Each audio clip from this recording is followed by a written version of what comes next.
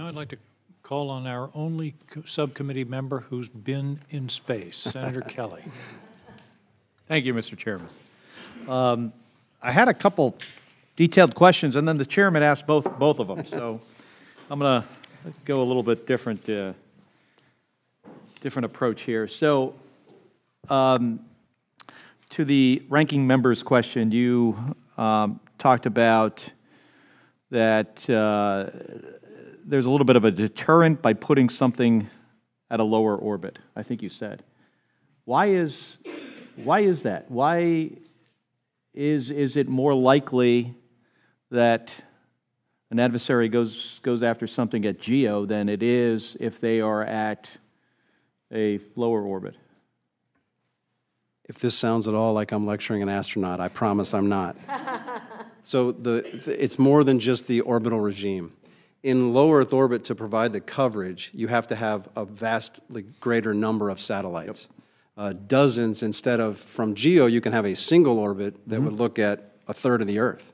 So by going to the low Earth orbit, we're buying smaller satellites and more of them. Oh, okay, it's the numbers. More satellites creates Yeah. a targeting problem. Which one do you want to shoot down that you think is going to be the, the problem for the mission? Yeah, it's just more tar, it's. it's more Proliferated. LEO, So more, they, they gotta shoot, shoot more rounds, a lot more. take out the capability. So much more that I think the escalatory threshold is raised to the point where they probably wouldn't. Wouldn't do it. Okay, okay, that's helpful.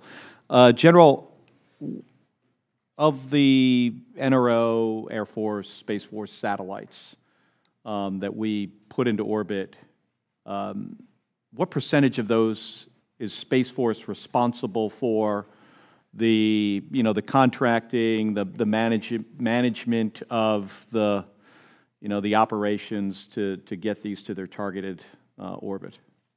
Compared to the NRO? Yeah, well, yeah, like what percentage do you have? Sir, I, I, I, I- let me get back to you with the So, but the. NRO, The NRO has a number of constellations for its mission set. We have, I'm, I'm trying to think if there's any examples. We have the vast majority of Department of Defense satellites Okay. that have now migrated those missions. but not all of the Department of Defe- Defense I, satellites. I always hesitate to say all, uh, but, um, but I'm struggling to think of an example. And, and how many launch providers do you have that you contract with currently to get those satellites into orbit? Two, And those are?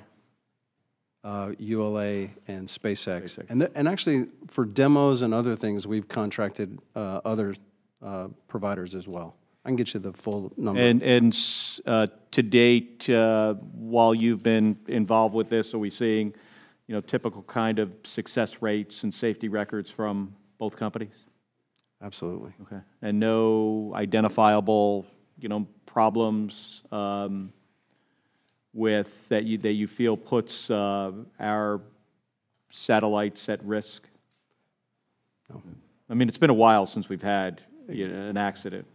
I mean, I saw one a long time ago, an NRO satellite, actually, that uh, happened to be down at the Kennedy Space Center, watched this thing blow up right after liftoff. I was on console out that in, happened? in California. Yeah. I just walked out of crew quarters, saw this, wasn't even expecting it, saw this rocket launch and then explode about 15 seconds later. Something you never want to see. Yeah, so it's great that we've, we've gotten better at this, and, uh, you know, SpaceX has a, uh, I'd say a pretty remarkable, you know, record of, of success, UL, ULA as well. We just need to keep that going. I think it's important to be, um, you know, just constantly trying to look ahead and seeing what that next, you know, failure mode is, and make sure you have the workforce that is really tracking this stuff closely, because, you know, some of these assets are in the billions, billions of dollars, as, as you know, General. Sir. So, um, I've got another question. Um, well, actually, I do have about 50 seconds. So let me. So Space Force has been around now for a couple years. Um, I think maybe three years. Is that right? A little over three years. A little over three years. And some of the Guardians incurred about a two-year commitment when they transferred from the Air Force or from an, uh, uh, another service. They're coming up on the end of that time. Are you seeing a good, you know, reenlistment rate for the enlisted ranks and officers that are going to stay on? Yeah, I, I think the date, the, the final assessment is still out a little bit because we want to see, I want to see it all play out, the full cycle play out before I really commit to this. But I'm, I'm encouraged so far. And I think we're providing the kind of challenges that the workforce is looking for. And so I'm, I'm still hopeful that we're going to be at, at good retention numbers, but we probably need to let this full summer cycle play out before we judge. Okay, thank you. Thank you, Mr. Chairman.